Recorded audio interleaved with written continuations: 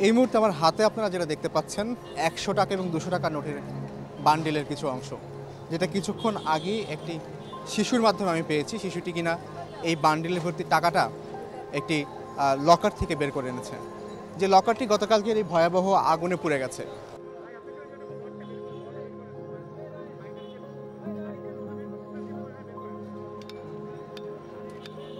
দুই দোকানে মিলেছিল পঁয়ষট্টি লাখ টাকার মতো, আর ক্যাশে ছিল সাড়ে চার লাখ টাকা, ওই চার লাখ ছেষট্টি হাজার টাকা।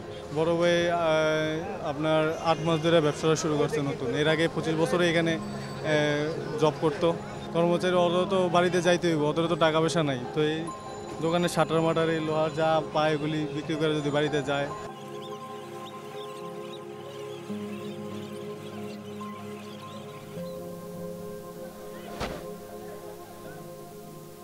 এখন তো আমার আমি ভিক্ষা ছাড়া আমার কোনো উপায় নাই।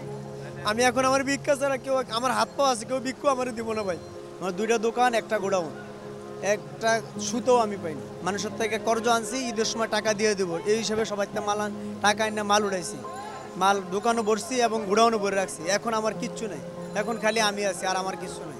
আর আল্লাহ আছে আমার।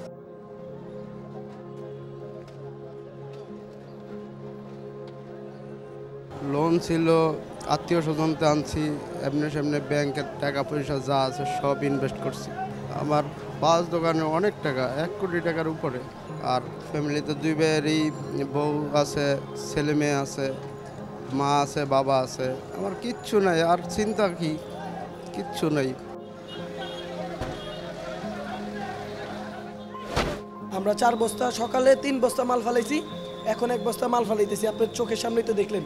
এগুলো আপনার মনে করেন যে যেগুলো বাদ, ওগুলো ফালা দিচ্ছে আর যেগুলো পুড়ে গেছে, এগুলো ফালাইছে আর যেগুলো মনে করেন যে ফায়ার সার্ভিসের কর্মীরা পানি দিছে, ওগুলো মনে করেন বস্তা ভিজা, এই মাল তো বিক্রি করা সম্ভব না। কিছু লোন ছিল, কিছুই ছিল, তাই না? সপ্তাহে যে এখন ঈদের ঈদের বাজার, তাই না? সবাই কিছু একটু কম বেশ করে একটু লোন মন উড়ায় মনে করেন। দাঁড়ানোর চেষ্টা করছি আমরা, কথা বুঝতে পারছেন? প্রতি বছর যে সময়টাতে এই এলাকায় থাকে জমজমাট ভিড়, মানুষজনের আনাগোনা, জমজমাট ব্যবসা, সেখানে আজকে কেবল শুধুই ছাই।